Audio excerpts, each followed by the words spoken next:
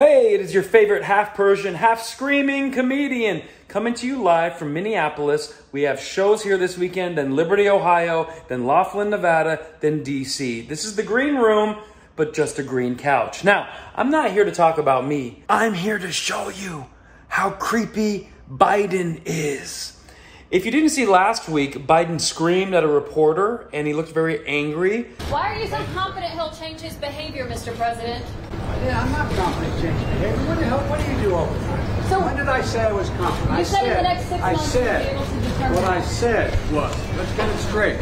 Right. You don't understand that. You're in the wrong business. So his team got together and said, Joe, you're cranky, you're old. Next time your natural tendency to get angry comes out, instead of yell, just whisper. Kind of like what a marriage counselor would tell the husband. And so now, whenever the press challenges him barely, he does a really creepy whisper.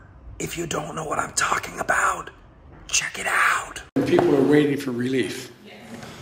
I got them $1.9 trillion in relief so far. They're going to be getting checks in the mail that are consequential this week for childcare. A lot has been happened already, number one.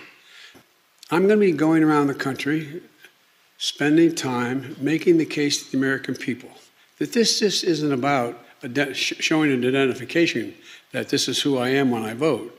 This isn't just about whether or not, excuse me, you can provide water for someone standing in line while they're waiting to vote. This is about who gets to judge whether your vote counted after it's been cast. Think about it. I wrote the bill on the environment. Why would I not be for it? Employers can't find workers. I said, yeah, pay them more. This is an employees employees bargaining chip now.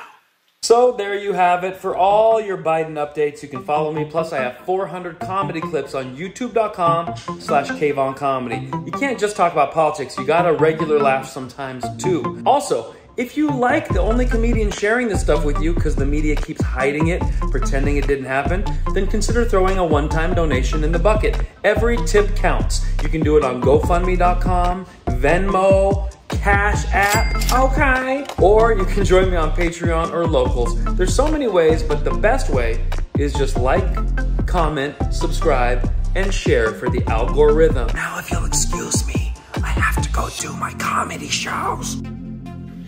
They're going to be getting checks in the mail that are consequential.